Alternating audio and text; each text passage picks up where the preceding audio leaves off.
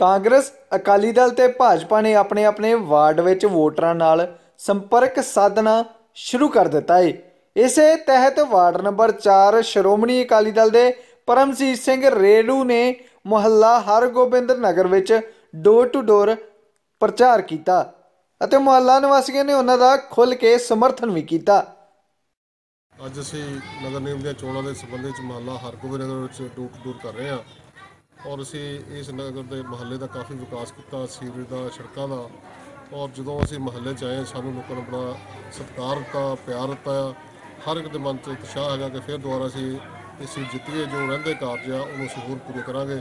ਸੋ ਮੈਂ ਇਹਨਾਂ ਵੋਟਰਾਂ ਦਾ ਬਹੁਤ ਧੰਨਵਾਦੀ ਹਾਂ।